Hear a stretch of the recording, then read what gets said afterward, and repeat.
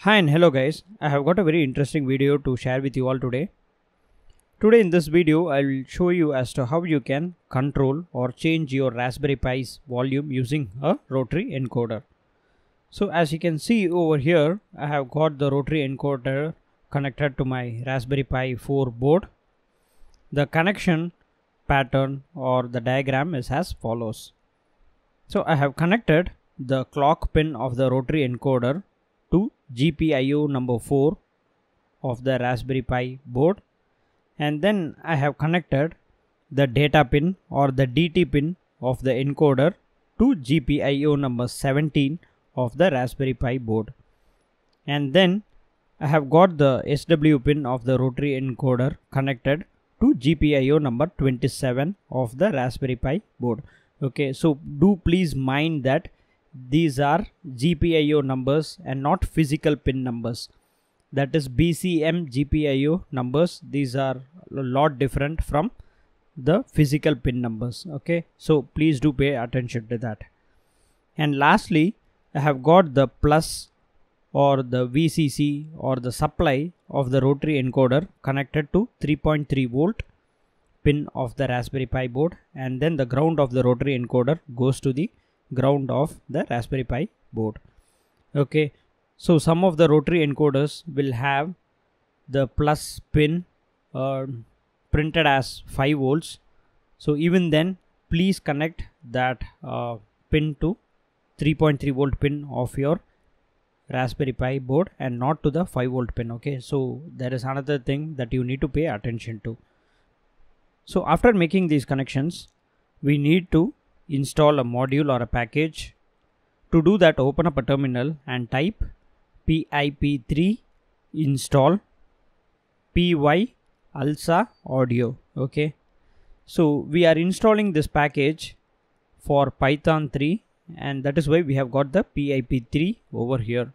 Say if you want to install this package for a root user you can prefix sudo and then run the command once again as in like sudo pip3 install py alsa audio okay?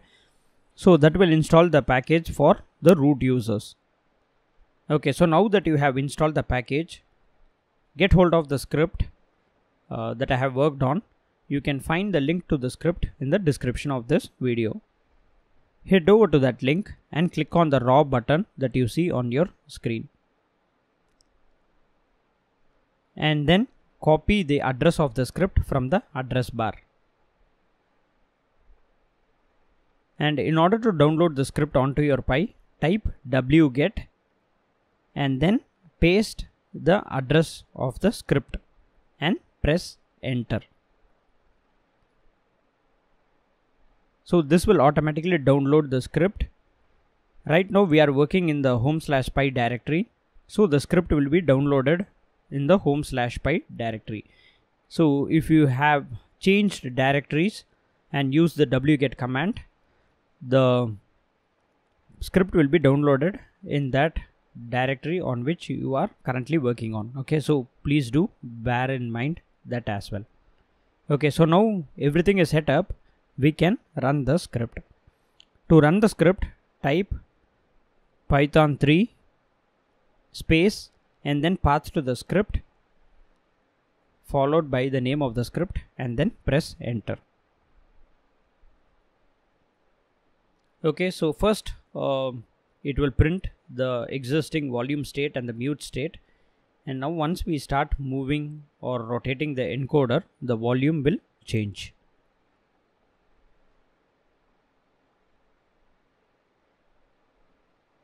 Okay, so as I am rotating the encoder you can see the volume change on the menu bar or the task bar at your top right and also you can see the changed volume being printed on the terminal. Say if I press on the encoder it will toggle the mute state that is the audio will be muted and unmuted.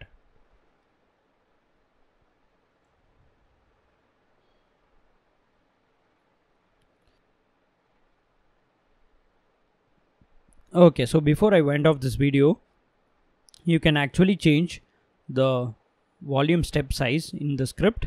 By default I have set the volume step size to 5 you can change it to whatever you want or whatever you desire okay? Okay guys so that is pretty much it.